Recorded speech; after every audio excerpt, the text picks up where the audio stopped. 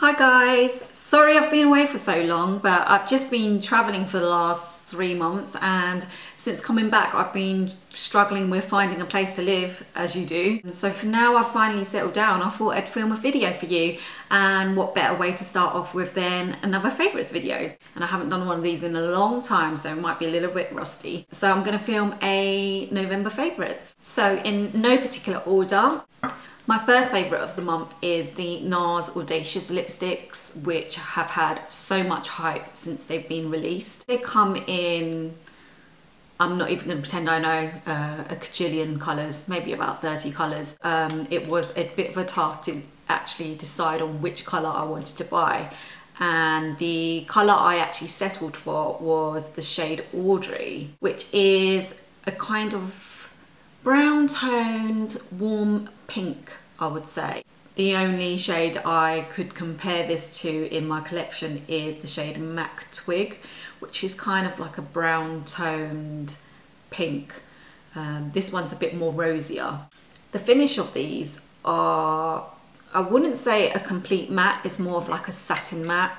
Um, but the pigmentation is absolutely brilliant so you get that much payoff in one swipe. It goes on without any drag and it wears really comfortably on the lips without drying. And I really like this shade because it's one of those shades that you can put on when you don't know what lipstick to wear. And this will pretty much go with any colour eyeshadow. My second favourites of the month is actually well two products two brushes from I think the Nic's Picks Real Techniques collection. I really like the cheek brush because it's very dense so it does pick up a lot of product so you really have to tap off the excess. It is just so so soft, the softest brush I think I own and um, it's right, the right size because I've got fairly big cheeks so it goes on really nicely. And the other favourite of mine is the Duo Fibre face brush. I don't really have a Duo Fibre brush in my collection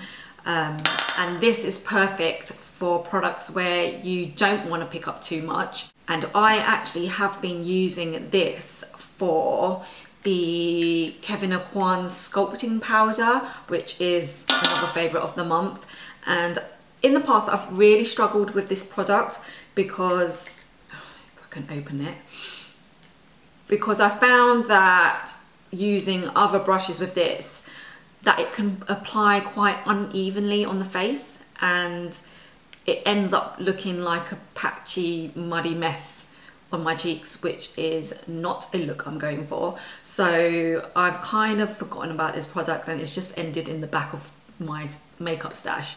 And because I've just moved into my new flat I've had the time to go through and sort out my makeup stash and kind of rediscover products that have been long forgotten. And this was one of them. And I use this with this. And it's like the ultimate dream team. This picks up just enough products even though I do have to tap off the excess as well because you don't want to get too much of this on your face because it just ends up looking like a muddy mess um, so I pick up the product using this, tap off the excess and just apply it along my uh, cheekbone or rather in the hollows of my cheek. And because it's that kind of, uh, it's got a grey tone to it rather than an orange tone as you normally get with contour powders, it actually mimics the way the shadow looks and it really does give you cheekbones and boy do I need help in the cheekbone department. So I've been applying this in the hollows of my cheek but if I want to add extra warmth I'll go and apply bronzer kind of on top and then just taking it up the hairline and uh, across the forehead and along my jawline. I'm really glad that I've rediscovered this and I can actually use it properly um, as opposed to thinking it was just a waste of money before because I thought it didn't work on me, but it does. It just depends on the right tools. So the next favourite has got to be the best favourite of the month if that makes sense to you. But it's the Hourglass Ambient Lighting Blush Palette which comes in a luxuriously gold package. Um, doesn't look so luxurious with all the finger marks on it, so apologies for that. If you open it up, it reveals three of their ambient lighting blushes and uh, a lovely handy mirror to go with it. And not having tried any of the ambient lighting blushes or in fact the ambient lighting powders, I was really excited when I saw the release of this. Um, mainly because I thought that the individual blushes can be quite steep because I think they're around about probably nearly 40 pounds but this compact is around 56 pounds which is still expensive but for what you're getting I think it's totally worth it. The reason why I was quite hesitant in trying the blushes in the first place or previously is because whenever I've swatched them in store I've always found that they come off quite chalky. Um, and I just couldn't really tell if it's going to sit nicely on the face. But you know it's just had so many rave reviews that I just completely caved and I just saw how beautiful this palette looked and I thought I had to have it. Um, and I'm so glad that I bought it.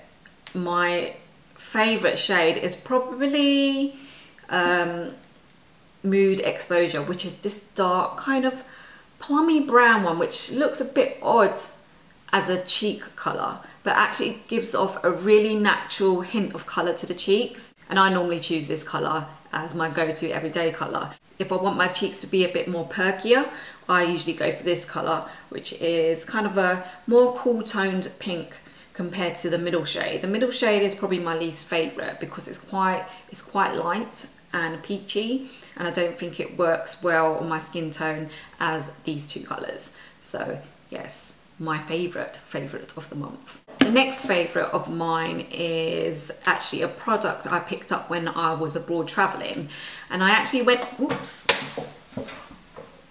oops, and I actually went into the body shop to buy, I think it might have been some eye, eye makeup remover.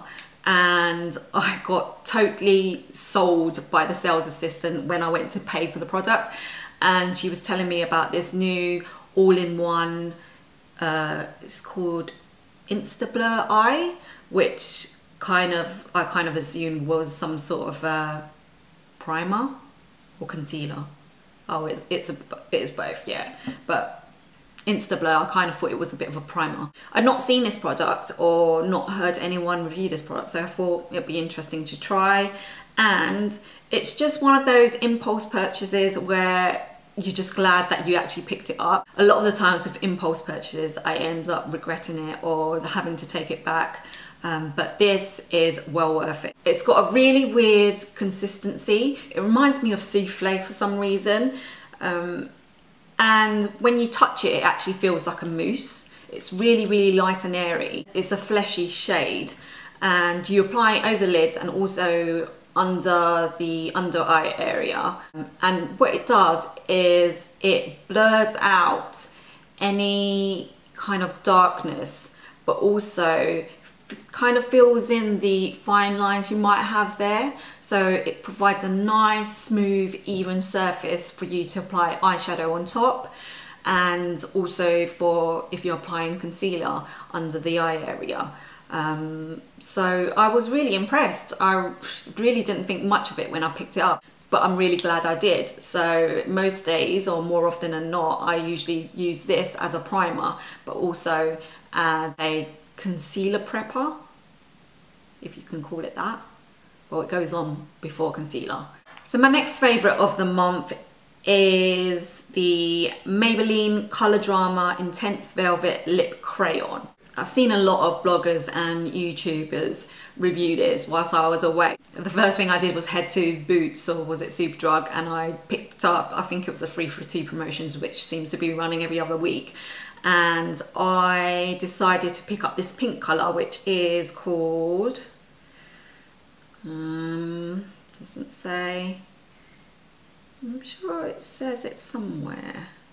I think it's keep it classy or something like that but it's a it's a mid-tone actually. Yeah it's a mid-toned fairly warm pink and it's quite similar actually to the NARS Audacious lipstick in Audrey except that's a bit darker and it applies matte but the formulation is so creamy that it's non-drying which is quite unusual for a matte because automatically you would assume that a matte lipstick would be really drying, uncomfortable on the lips. Um, but this is nothing like it at all. And on most days, I've been wearing this on my lips as a kind of kind of my lips but better but a little bit more pink um, and sometimes I add a little bit of pink gloss on top just to add a little bit of shine but yeah I'm really liking this. The next favourite is also another product that I rediscovered in the back of my makeup stash and it is the Laura Mercier Secret Camouflage Concealer and I'm in the shade S4. This is just a brilliant concealer. If you've got any big pimples that you're really struggling to conceal with a liquid concealer, then you need this in your life. It's, it's quite a thick consistency. It warms and loosen up and it becomes a bit more fluid and easier to work with when you work it on the back of your hand. And I like the fact that it comes in two shades. So you've got obviously the darker one to cater for when your skin's maybe a bit more tanned and then the lighter one when you know you're in the middle of winter and you're as pale as a ghost. And right now I'm kind of probably losing my tan a little bit now so I'm using more of the lighter shade. But what I do is uh, take a small brush dip it in each color and then just mix it and warm it up on the back of my hand so it loosens the formula a little bit. And then I just apply it onto you know the spot the blemish whatever and um, yeah and then I just put a bit of powder on it to set it and basically it doesn't budge. And because it's not a liquid formula it doesn't tend to smudge as easily um, or wear off as quick.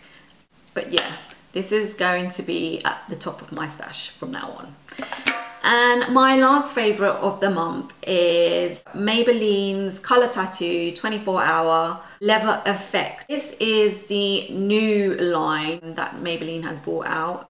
It is an absolute dupe for MAC's Paint Pot in Groundwork. Down to the formulation, the colour is quite a close match, but the formulation is really, really creamy and the finish is really matte as opposed to the regular 24 hour tattoo which I think has a bit more of a metallic finish and it applies really easily. I know there have been reviews where bloggers have mentioned that it doesn't apply consistently, but I've not had that problem with this. I think it applies really smoothly, really nice. And it's one of those products where, you know, you don't really know what to put in your eyes, but you kind of want something on your eyes and you just want to slap this on because it it just adds that little bit more kind of depth to your eyes. It's just a little bit darker than my skin tone. So it looks like I've made an effort without making too much effort, if you know what I mean. Um, but yeah, I really like it. So well done. I just hope that maybe they've got other shades in this one. I think there is a plummy shade. Um, not really my cup of tea, I think but maybe like a darker brown or I don't know. But yeah, be interested to see if there's any other colours in this. And that's all for my monthly favourites. Thank you for tuning in and taking the time to watch this video and I shall see you soon. Bye!